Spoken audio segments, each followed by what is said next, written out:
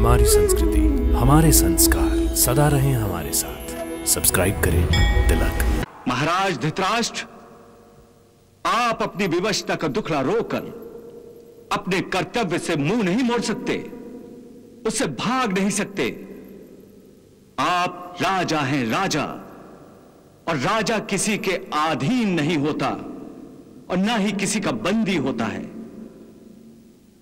बल्कि वो उनको बंदी बनाता है जो दूसरों के अधिकारों को हड़पना चाहते हैं। भांजे श्री कृष्ण तो अब शांति की भाषा की जगह युद्ध की भाषा बोल रहे हैं। ये दूध की मर्यादाओं का उल्लंघन है। ये जीजा श्री को हमारे विरुद्ध भड़काकर हमें बंदी बनवाना चाहते हैं। हाँ। अरे ये क्या मुझे बंदी बनाएगा? मैं ही इसे बंदी बनाऊँगा। हे द्वारिकाधीश, मैं एक पिता हूँ। मैं आपको समझा नहीं सकता कि एक पिता की विवशता क्या होती है। परंतु आप, पांडवों के भी तो ज्येष्ठ पिताश्री हैं। आप उनके विरुद्ध कैसे जा सकते हैं? पांडव स्वयं आपको आज भी अपने पिता समान मानते हैं। परम प्रतापी युधिष्ठिर और उसके अनुजों ने आपको और कुरुकुल के सारे ज्येष्ठों को अपना आदरणीय प्रणाम भेजा है। मुझसे याचना की है कि उनके प्रति मैं आप सब ज्येष्ठों से आशीर्वाद ग्रहण करूँ। महाराज, बताइए बताइए मैं उन्हें आशीर्वाद में क्या ले जा कर दूँ? क्या कह दूँ कि आपने उनके प्रेम, स्नेह, आदर और श्रद्धा को ठोकर मार दी? हाँ हाँ अवश्य कह दीजिए। हमें उनके स्नेह, उनके प्रेम, उनके आदर और श्रद्धा की कोई आवश्यकता नहीं। जाइए, द्वारकाधीश, जाइए। जाकर कहिए उन पाँचों पाखंडियों से कि इंद्रप्रस्थ मैंने जीता है, मैंने। यदि उन कायरों को इंद्रप्रस्थ चाहिए तो जीत ले जाए युद्ध भूमि पर। वे आपके लाख कहने पर भी पांडवों को इंद्रप्रस्थ वापस नहीं लौटाऊँगा।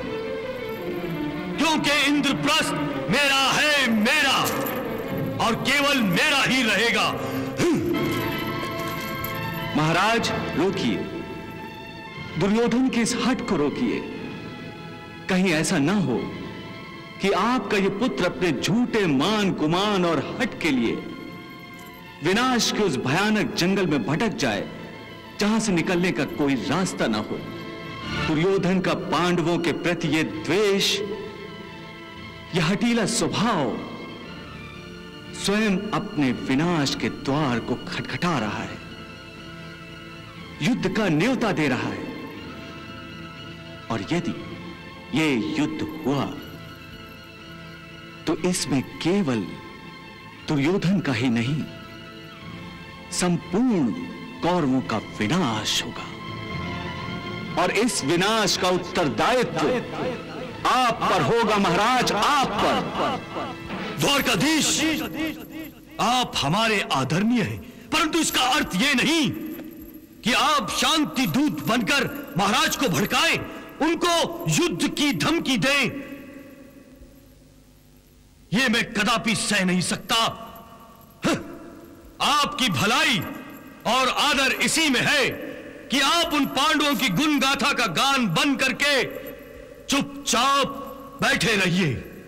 दुर्योधन अपनी जीवा को लगाम दो और सत्य सुनना सीखो। द्वारिकाधीश के प्रति ऐसे अपशब्द शोभा नहीं देते। भगवान के प्रकोप से डरो। पितामह डरते वो हैं जो कायर होते हैं। मैं किसी के प्रकोप से नहीं डरता। क्योंकि दुर्योधन स्वयं एक प्रकोप है। प्रकोप कहा दुर्योधन तुमने। तुम एक प्रकोप हो, और अब यही प्रकोप बिजली बनकर हस्तिनापुर पर गिरने वाला है। महाराज, दुर्योधन के ये कटीले और विषैले शब्द एक अनावश्यक युद्ध को अनिवार्य कर रहे हैं।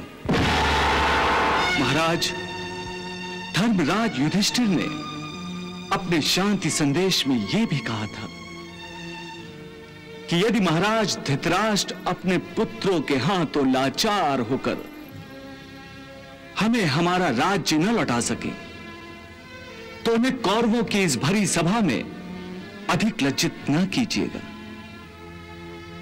उनकी व्यवस्था का प्रदर्शन न कीजिएगा।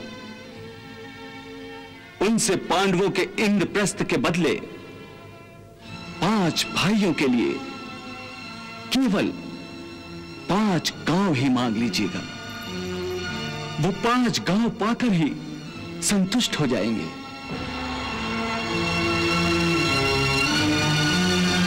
मैं उन भिकारियों को पाँच गाँव तो क्या सुई की नोक के बराबर भी ज़मीन नहीं दूँगा।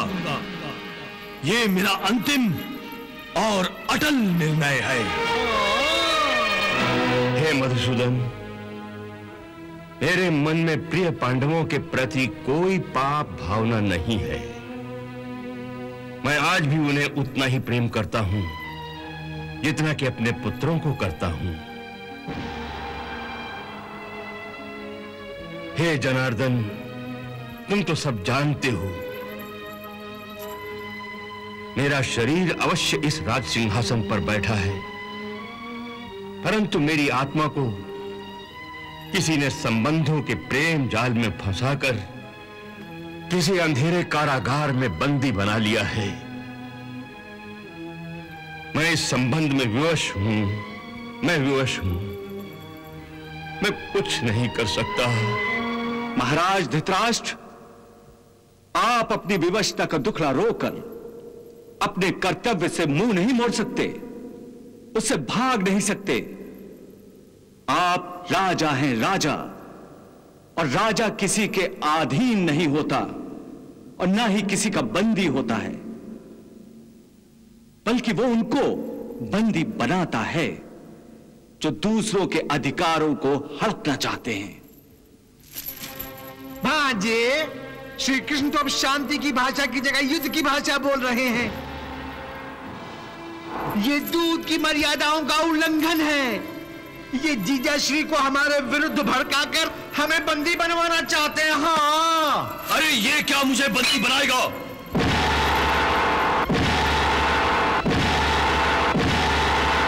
मैं ही इसे बंदी बनाऊँगा।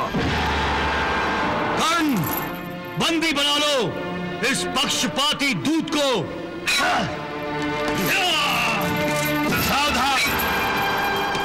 ने भी द्वारकाधीश की तरफ़ एक कदम बढ़ाने का साहस किया तो यहीं इसी दरबार में सरों का ढेर लगा दूँगा। सात्विकी बैठो। आओ आओ दुर्योधन आओ कर्ण मुझे बंदी बना लो। जय